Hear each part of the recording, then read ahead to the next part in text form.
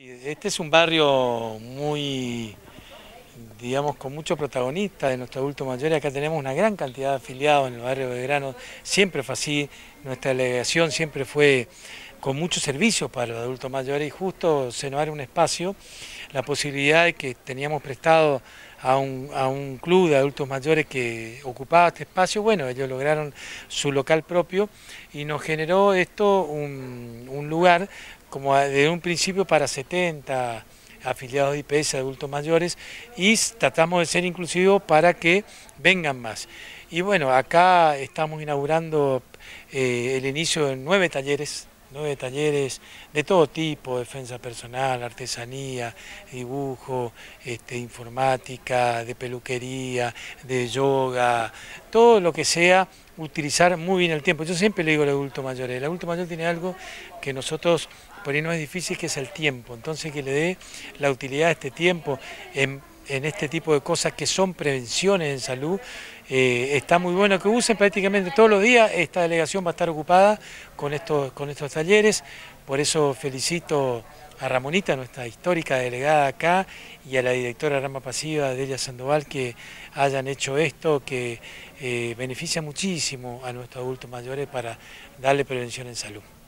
y preguntarle también un poco por, cómo viene la, cuestión de, de, usted hablaba recién destacado, recordado por ahí los viajes, las cosas que el IPS le, da a, sus afiliados, digamos.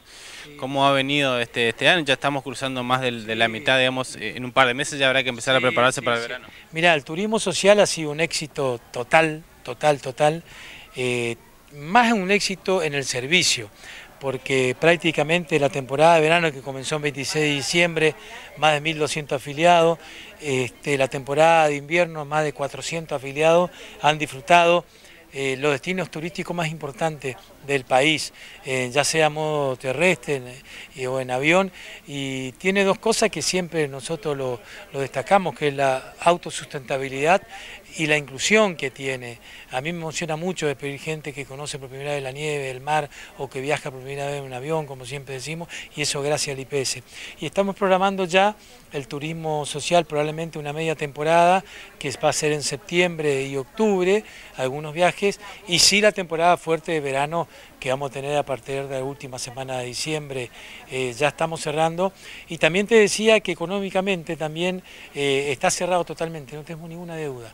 Por eso hablo de la autosustentabilidad, es decir, esto se paga con la cuota de nuestros afiliados, por eso eh, solemos decir, y esto no es que es cuestión de un deseo, sino de una realidad, que el turismo social es prevención en salud, el IPS, y lo vamos a mantener, ya lleva 13 años nuestra dirección y bueno, lo vamos a mantener como tiene que ser. La última, al menos de mi parte, estamos en la recta final ya para las elecciones del domingo. ¿Cómo, ¿Cómo, espera que se dé todo en, la provincia? Digamos? ¿Cómo cree que va a estar la cuestión? Y mirá, yo creo que la gente entendió lo que nosotros llamamos la boleta corta, la boleta corta de que significa nuestro misionerismo, significa nuestra elección de los cuatro precandidatos diputados nacionales, que es una cuestión de honestidad política, porque con la boleta corta, sin ir eh, pegados a candidatos nacionales, nosotros respetamos lo que la gente nos enseñó el 2 de junio.